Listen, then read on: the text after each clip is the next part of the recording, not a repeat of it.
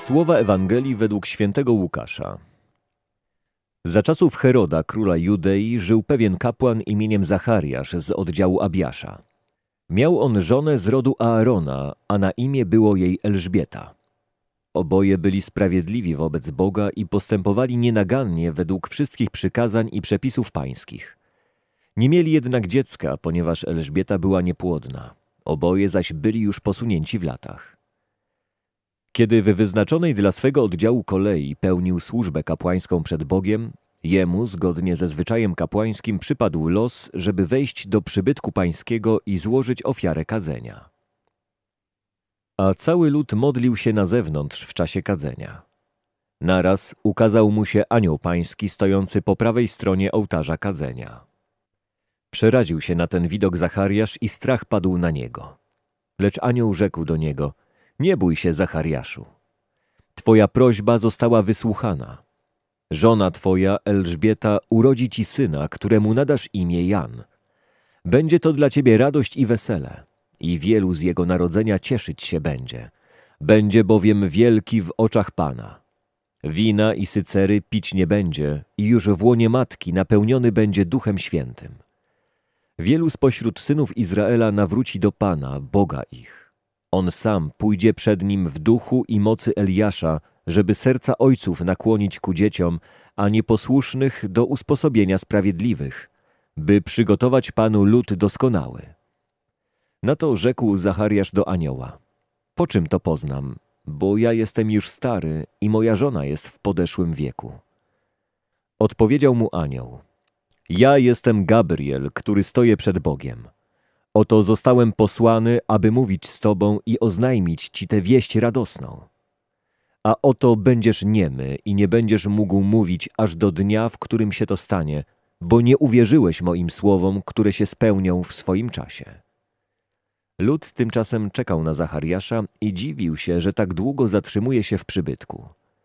Kiedy wyszedł, nie mógł do nich mówić i zrozumieli, że miał widzenie w przybytku. On zaś dawał im znaki i pozostał niemy. A gdy upłynęły dni jego posługi kapłańskiej, powrócił do swego domu. Potem żona jego Elżbieta poczęła i pozostawała w ukryciu przez pięć miesięcy i mówiła Tak uczynił mi Pan wówczas, kiedy wejrzał łaskawie i zdjął ze mnie hańbę w oczach ludzi. Zanim Bóg objawi przez anioła swój zamiar, wprowadza człowieka w upokarzające doznanie.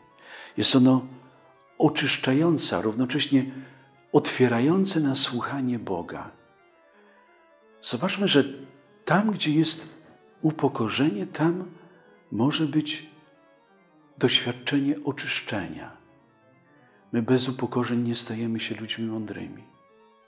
I bez upokorzeń nie stajemy się ludźmi czystymi. Tego doświadcza właśnie Zachariasz, który jest człowiekiem bardzo mocno stąpającym po ziemi. On wie, że nie może mieć dziecka. Nie bierze pod uwagę tego, że u Boga wszystko jest możliwe.